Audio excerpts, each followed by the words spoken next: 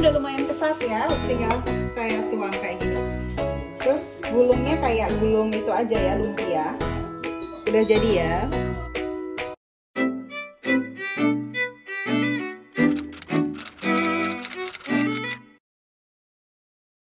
Hari ini kita mau bikin dadar gulung. Dadar gulung yang isi unti kelapa itu ya. Jadi mula-mula pertama-tama kita bikin untinya. Yang bahan-bahannya adalah 125 gram kelapa parut karena di sini cuma ada yang kering. Ya udah pakai yang kering aja. Terus karena kelapanya kering, saya tambahin 100 ml air putih kasih satu daun pandan gula merahnya 125 gram juga karena saya nggak suka uh, warna yang terlalu gelap di dalam unti jadi saya pakai 50 gram Thai palm sugar sama 75 gram gula jawa ini saya masaknya barengan aja. Jadi ini diaduk sampai nanti gulanya meleleh dan warnanya menyatu. Dan kelapanya basahnya rata gitu ya. Jangan lupa juga masukin garam setengah sendok teh.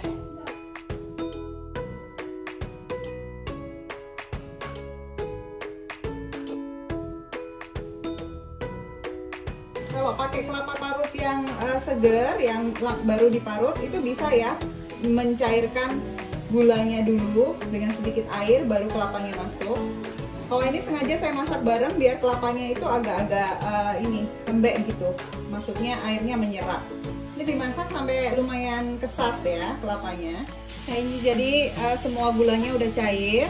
Ini udah lumayan kesat ya udah tercampur semuanya. Kita pindah di wadah tertentu buat nanti diisikan ke dadarnya. Sekalian biar juga dingin agak dingin gitu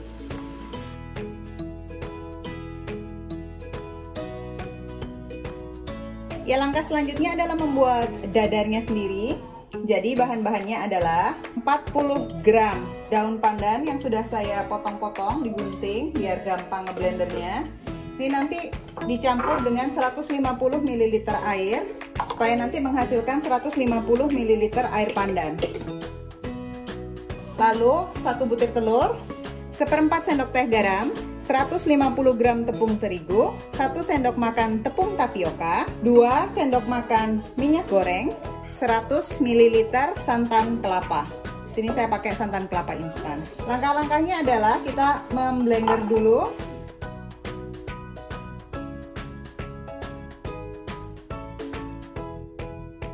Nah, seperti biasa pastikan jumlah air pandannya adalah 150 ml.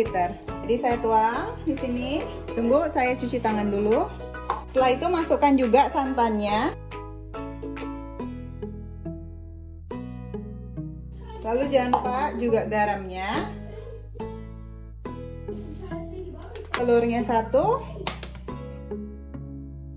Tepung tapiokanya satu sendok makan dan tepung terigunya 150 gram lalu juga 2 sendok makan minyak goreng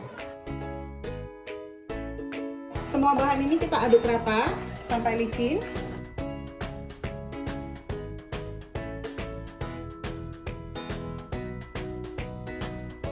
uh, ini siap untuk kita uh, panggang ya Oke, sekarang kita bikin dadarnya. Api sedang. Kita mulai dengan memberi minyak sedikit. Nah, kalau saya biasanya saya taruhin di tisu, terus saya oles gitu. Nah, ada dua ini ya, dua versi kulit dadar. Biasanya kalau yang mau smooth, yang halus banget, itu pastikan bahwa menyapu minyaknya membersihkan minyaknya dengan tisu tadi benar-benar sampai benar-benar kering. Jadi dioles minyak terus disapu dibersihin sampai benar-benar kering. Tapi kalau di, masih ada sisa-sisa minyaknya sedikit, itu nanti jadinya agak-agak berpori.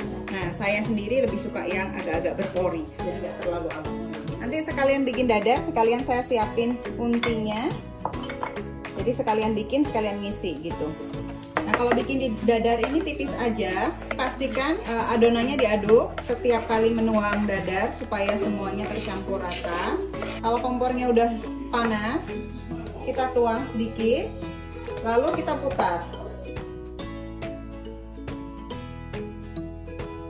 Nah kalau ada yang kurang kayak gitu tinggal ditambahin dikit aja.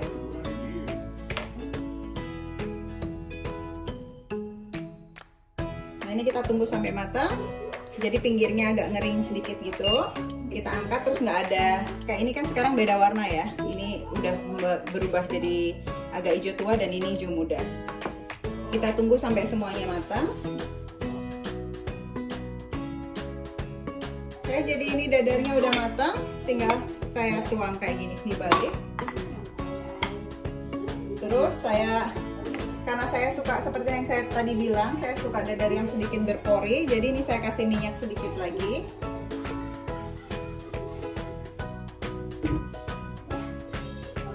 Dan saya bersihin pakai broken papir atau tisu atau pakai uh, kuas juga bisa ya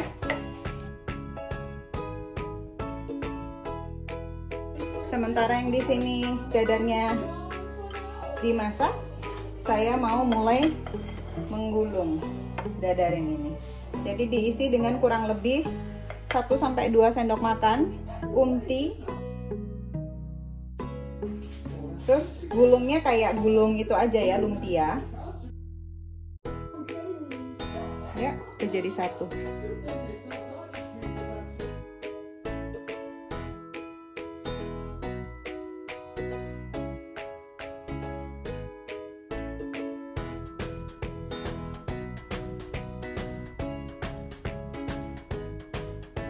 udah jadi ya Thank you.